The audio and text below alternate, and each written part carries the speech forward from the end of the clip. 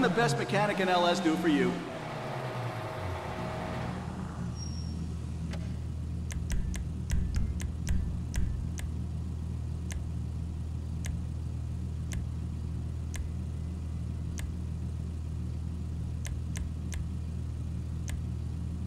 Now that's a custom job.